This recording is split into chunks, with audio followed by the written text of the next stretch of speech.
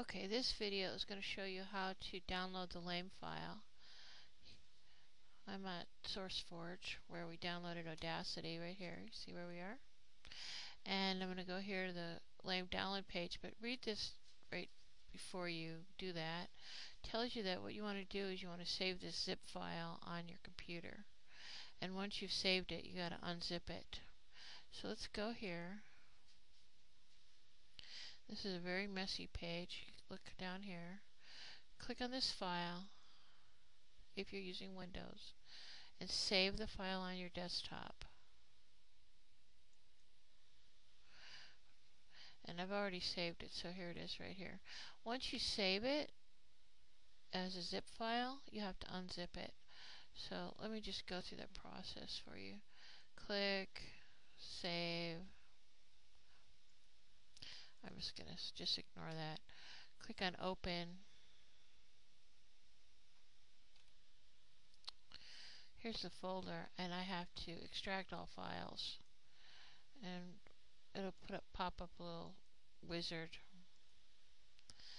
and once I do that I've got this folder with the file I need which is actually this file right here you don't need to do anything with it right now alright so let's say that I've created a file in Audacity.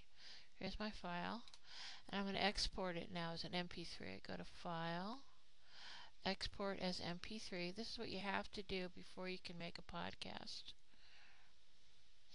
Audacity makes its own series of files that live in the program files. If you want, you can create a folder someplace else. I'm just going to leave it. I'm going to give it a name.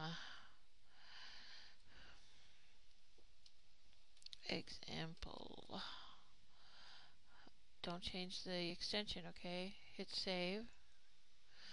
Alright, so you're going to get, this is the first time you go to save. It's, you're going to get this message, okay? So we know that we have this file, right? So we're going to say, yes, we want to locate it now. Click on yes. Where do we put it? I put it on my desktop inside this folder right here. There it is. There's a file. And I'm set to go. Click OK. And uh, that's all there is to it. I have now created an MP3 file. So give it a try.